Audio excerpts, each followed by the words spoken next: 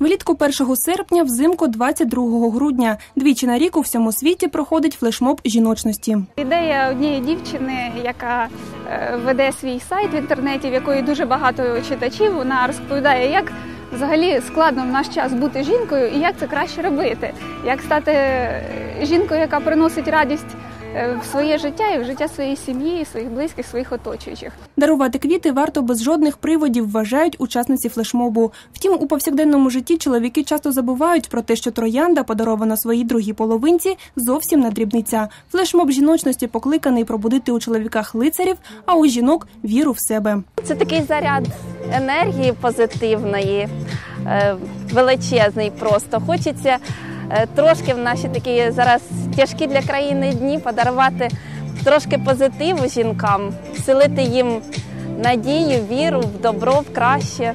Учасниць для флешмобу шукають переважно через соціальні мережі. До них жодних особливих вимог. Было бы желание, и можно стать участницей этого флешмоба. А просто пожелание к девушкам, которые приходят, это э, женская именно одежда, поскольку флешмоб женственности.